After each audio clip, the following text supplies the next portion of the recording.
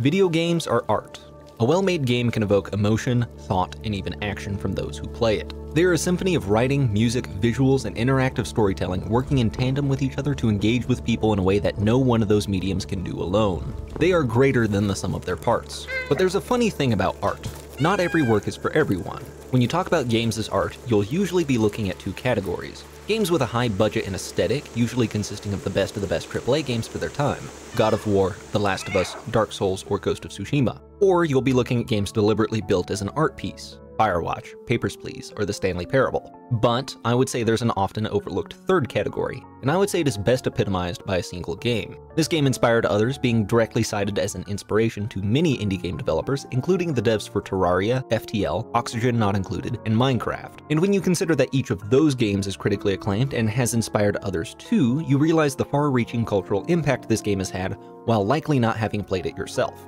Similarly, when on the topic of art, a natural next discussion to have about a piece is to wonder whether or not it is beautiful.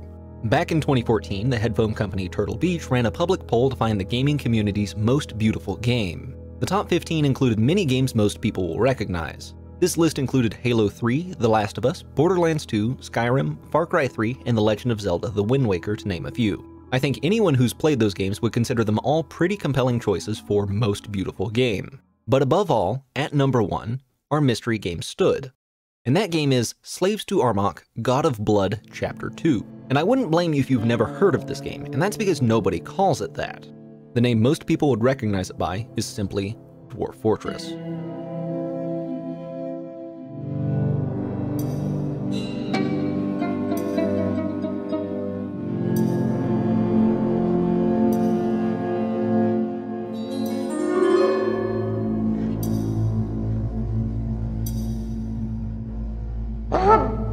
Fortress is somewhat infamous in the gaming community, being notorious both for its unwieldy interface and controls, and due to its sheer difficulty. Up until relatively recently, you couldn't even use your mouse. All controls were done via keybinds that were best used when memorized as to not rely on the clunky menus. Now you're more than likely thinking, how the hell did this, or even this, beat any of these other games on the list in a contest of beauty? And it's simple.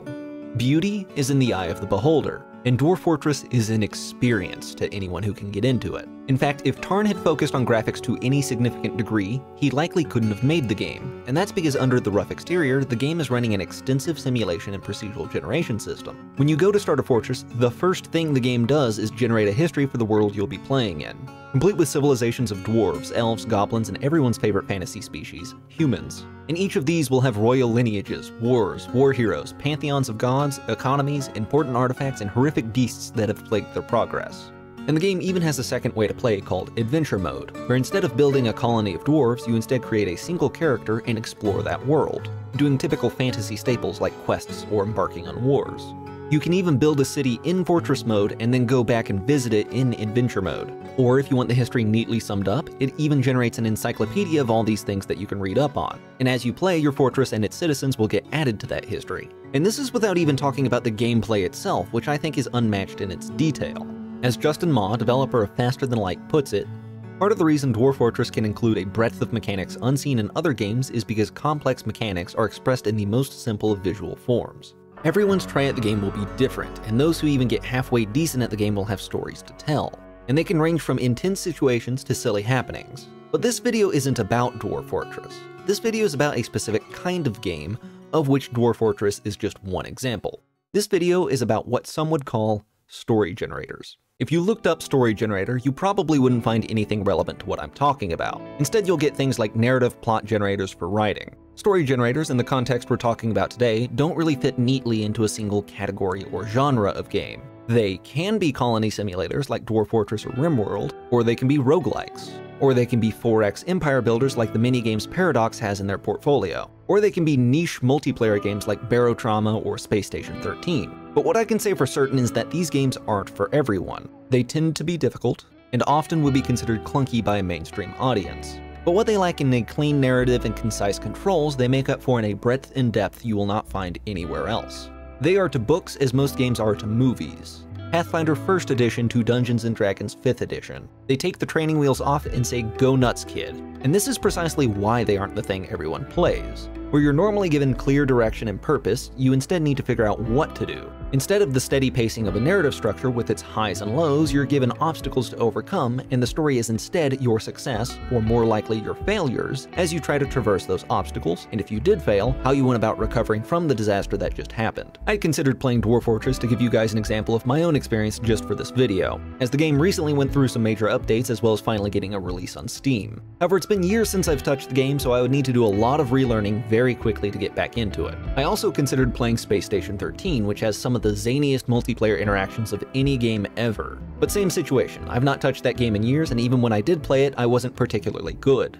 Instead, I went for my old reliable, Stellaris. Stellaris, for those who don't know, is an empire-building strategy game in space. You build an alien culture and then play against computers or other players. Technically, there's a win condition to get the most points, but you can get those points in just about any way you can conceive founding colonies, researching new techs, having a big military, using your big military to take other people's colonies, and many more. And even if you don't end up as the winner, it's still fairly enjoyable just to see how your empire develops over time. The species I made for this run were the Ultur, naturally intelligent, traditional, short-lived fungus people. They are xenophilic, fanatic spiritualists looking to spread the good word of their subversive cult to the stars. They also have a quantum catapult, because I've never taken that origin and I wanted to see what it did.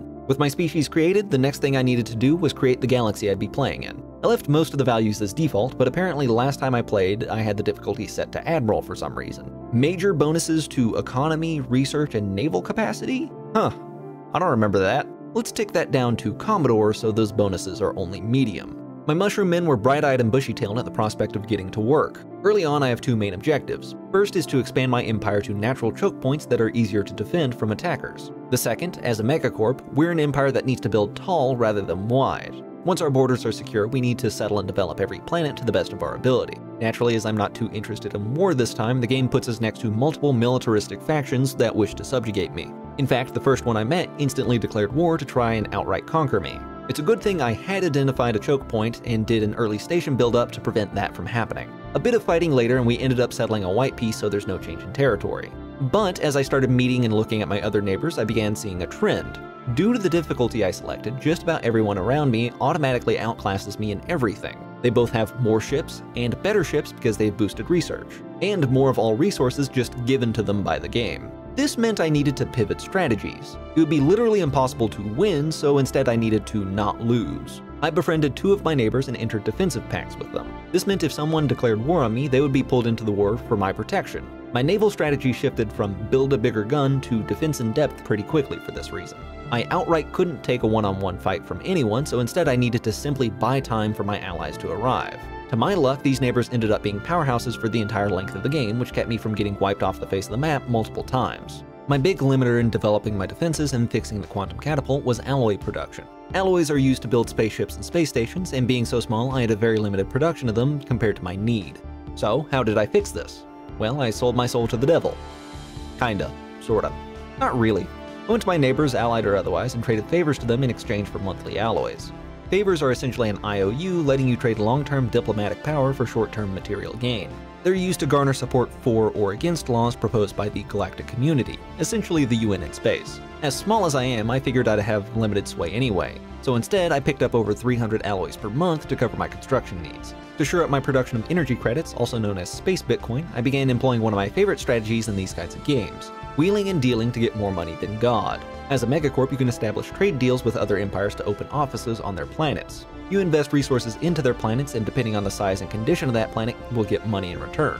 Because the Ultur are a subversive cult, meaning they have a criminal heritage background, the other empire does not need to consent to this. I set up shop on the most profitable planets I could find and went to work building smuggling ports, pirate havens, subversive shrines, and front companies. This netted me a few thousand energy credits per month, so any other resource I ran short on I simply bought to cover the deficit. This also had the benefit of getting me the second biggest economy early on. The largest was eventually wiped out by another empire, so market control transferred to me, giving me a reduced fee for buying resources from the market. With my criminal enterprises spread far and wide, the next thing I needed to do was cover my research deficit. I found early on one thing the computers didn't really know how to deal with was espionage, so I spent influence to steal technologies from them as quickly as possible. Neither their code breaking nor encryption were particularly strong, so it was fairly easy to do. Eventually they teched up and made it more difficult, but this just meant I could steal those techs from them and make up the difference. Once I got into psionics and my mushroom men literally became mind readers, they couldn't stop me from spying on them because they couldn't tell they were being spied on in the first place. My influence production was pretty low in the mid-game due to my defensive pacts, so in between espionage attempts I began communing with the Shroud,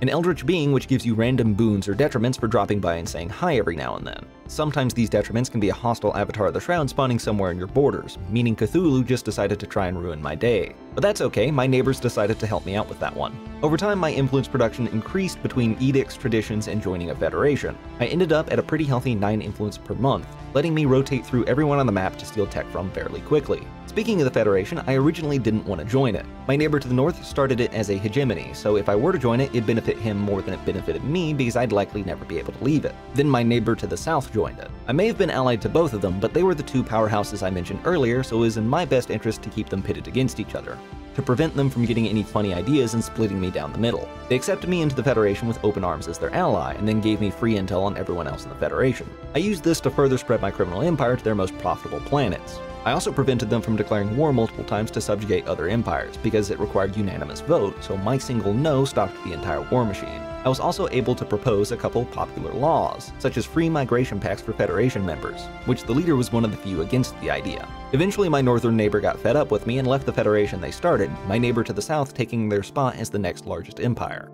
Eventually, I hit a cap in how tall I could build. No new planets to colonize, no good expansion sites this late in the game. My best bet was to get mega engineering. Aside from political shenanigans to try tearing others down, my mid to late game was fairly stagnant. Despite basically everyone building mega engineering projects at this point due to their accelerated research, I just couldn't seem to nab the tech from them for the longest time. Eventually I got it and got to work. I built a science nexus first to shore up my research, making any further mega engineering projects that much quicker to achieve. Through research and edicts, I also sped up the pace they could be built at. Next I built a Dyson sphere and a matter decompressor, meaning I wouldn't need to worry about minerals or energy ever again. I took the Ascension perk to allow me to build ring worlds. If I didn't have the planets to settle, I'd just build them instead. Once I got two of them fully finished, I began alternating between building a third ring and other projects, like a mega shipyard and a strategic coordination center. This got me to a point where resources were no longer an issue and I could more realistically handle a brawl with my smaller neighbors. Somehow I discovered the Ultima Vigilis system which nobody else tried getting to.